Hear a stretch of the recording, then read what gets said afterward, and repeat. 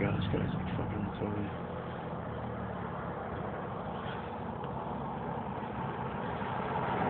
Anybody else? Ready?